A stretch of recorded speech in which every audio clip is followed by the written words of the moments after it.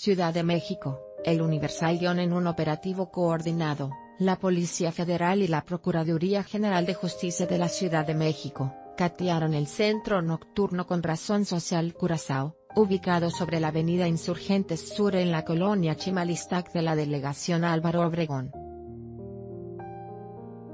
De ese establecimiento fueron rescatadas 17 mujeres mexicanas, y dos venezolanas posiblemente explotadas sexualmente por 28 detenidos en flagrancia, y puestos a disposición de la Fiscalía Central de Investigación para la atención del delito de trata de personas. Derivado de la denuncia de una de las víctimas, el pasado 14 de agosto la Procuraduría Capitalina inició una investigación en el lugar en el que se detectó que desde abril de 2016 se prostituía a mujeres, y que los imputados obtenían el mayor beneficio económico.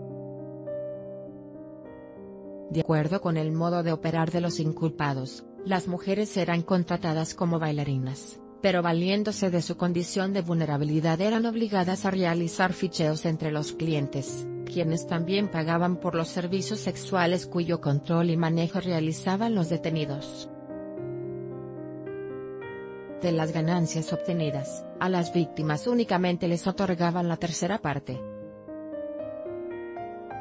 En audiencia privada, el representante social presentó los elementos de prueba recabados con lo que el juez de control concedió la orden de cateo el pasado 11 de septiembre, la cual fue ejecutada esta madrugada. El agente del Ministerio Público cuenta con 48 horas para determinar la situación legal de los 28 detenidos. En tanto, la Subprocuraduría de Atención a Víctimas activó el protocolo de actuación para brindarles apoyo psicológico, médico y jurídico a las afectadas.